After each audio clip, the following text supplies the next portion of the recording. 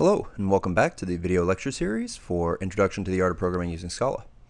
In this video, we are continuing to talk about arrays and lists, uh, the collections in, in Scala, and in particular we're looking at uh, different types of sequences. And we want to talk about a concept that's related to this, the concept of variable length argument lists.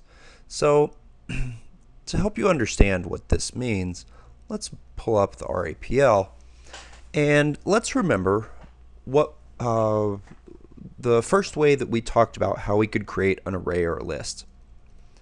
So we talked about the fact that we could build an array or a list with a an expression like this.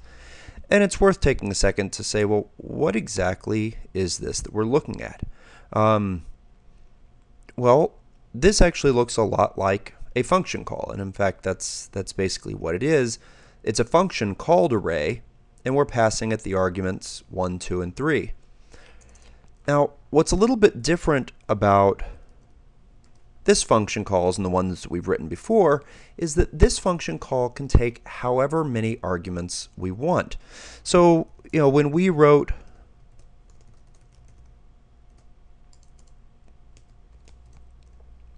something like this previously, we could call f of 3 or we could call f of 5 but I couldn't call f of 3 and 5 because that was an error, because the function f only takes one argument. And this kind of begs the question, well, how are they doing this? Because let's give uh, another example of where it might be useful for us to have this. What about a function that takes the average of a bunch of numbers?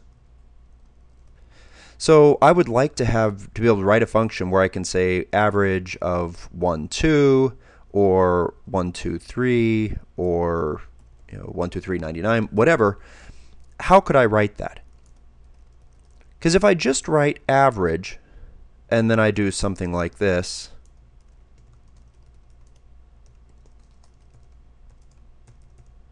you know, you can kind of see what the problem is. I have to put in however many arguments we're going to take. What if I don't know how many numbers there are that I want to average? What if I want the user to be able to specify that?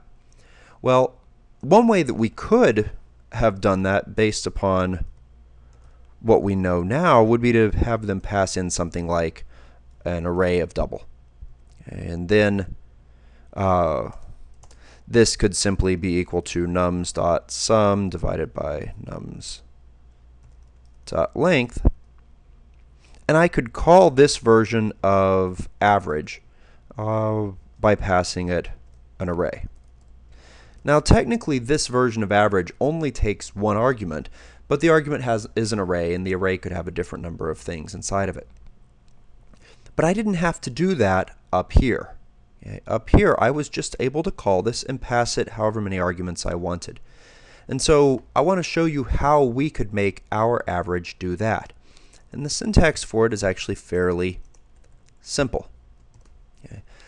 The syntax is that you can give an argument and you say the name of the type that you want followed by a star. And what that means is that you can pass in zero or more things of that type. Note that whatever you, uh, if you include this, it has to be the last argument in, in your list. I could have some things in front of this. Okay. But if I want to use this star, this variable length argument list, it has to be the last element. Um, in this case, it's also the only element that I want.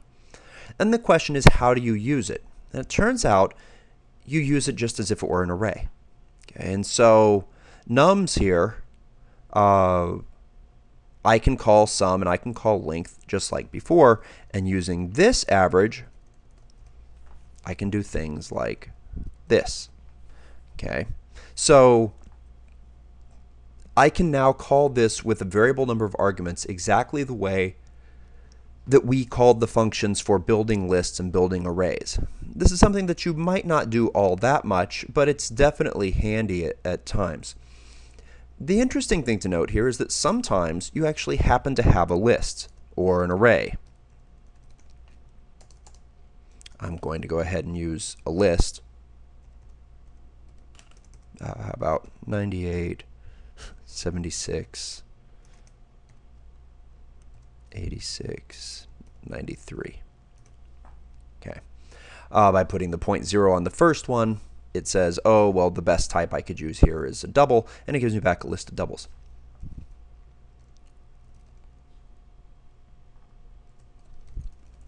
I want the average of those grades.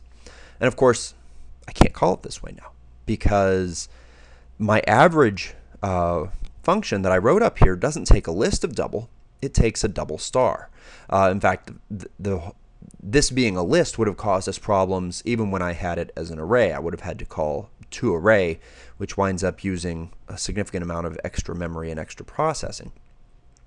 So the thing is, how could I make this work? Because it turns out this is a really common use case. Okay, it's it's very common that that you have something stored in a list or an array, and if the function was written so it takes a variable number of arguments, it just kind of makes sense that there should be a way to call it. And it turns out that there is. Okay. So here we have our problem because it says, well, you were supposed to give me, if, if you there's only one argument, it needs to be a double, but there was a list of double in here. And what we have to tell Scala is, I want you to take this grades, but treat it as a somewhat different type. And so, as we've seen in all of our uses of Scala, the way that we specify types on things is with a colon. So after grades, I'm actually going to put a colon. And I want to say here, I want you to interpret grades as a something star. We've seen many times before that you can uh, read this underscore in Scala as something. You know, when we're writing our little function literals and we did a, a underscore plus underscore, it's something plus something. Um, we really don't care. So to keep the syntax simple so that I don't have to type in double or int or string or whatever other type it is, we just put in an underscore here.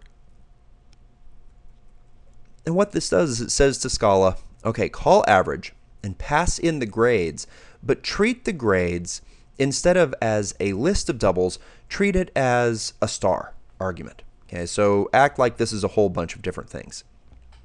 And it turns out that that uh, usage works just fine uh, for if you have something in a list or an array and you want to pass it to something that takes a variable argument list.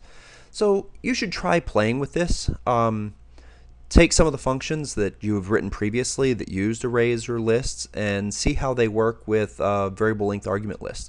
Uh, I've written average here. Write one that takes um, takes an average dropping the minimum value or something along those lines. Uh, so that's it for this video and we'll see you again soon.